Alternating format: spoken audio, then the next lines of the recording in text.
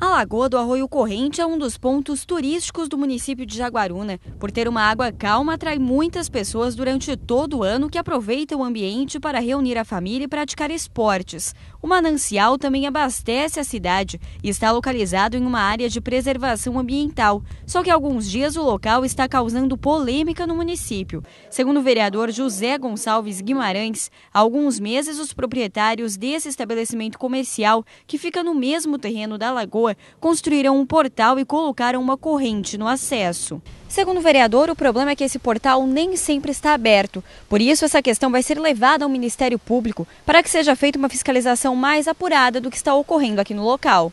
Se acha o dono de impedir o ir e vir do público a hora que ele quer. Eu questionei esse fato porque nós temos que ter liberdade de ir na lagoa, todo mundo, por um acesso público. Tanto é que o Corpo de Bombeiro Militar instaurou ali na última temporada um salva-vida. E aquilo ali, desde quando era propriedade da SAPAC, ele já era público. Então nós questionamos essa questão. E eu fui atacado por esse cidadão aí no final de semana, ameaçado. Isso eu já tomei todos os caminhos jurídicos para essa questão. Requerer ao Ministério Público Estadual, Federal, um inquérito civil público e aí a gente vai ver qual a competência. O caso veio à tona na sessão da Câmara de Vereadores dessa quarta-feira. Durante o posicionamento do parlamentar sobre a situação, os ânimos ficaram exaltados no plenário. Os proprietários do estabelecimento estavam presentes na Câmara. De acordo com eles, a afirmação do vereador não é correta, já que o portal que dá acesso à lagoa foi fechado apenas durante a alta temporada, para que a população pudesse respeitar o espaço. Nós só colocávamos a uma corrente nos finais de semana na temporada, devido à falta de educação das casas de shows que estão tendo perto da lagoa que muitas pessoas iriam para lá à noite fazer bagunças, luau, que nós temos crianças pequenas lá e nós moramos no verão lá.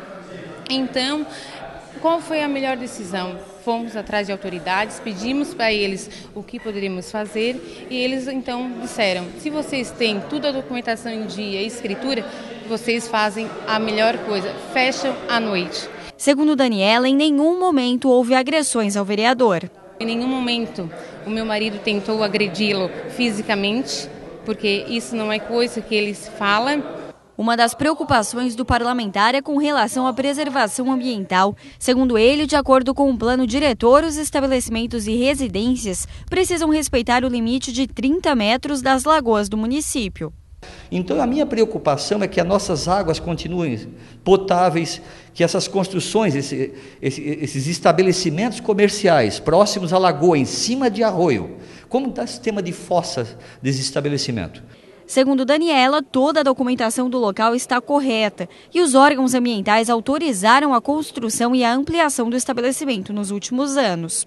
Estamos seguindo totalmente as regras determinadas da lei. Estamos mais de 30 metros, não temos nada é, de poluição. Nós sim somos os preservadores do meio ambiente, gostamos muito de preservá-las, cuidamos muito bem é, através de sinalizações.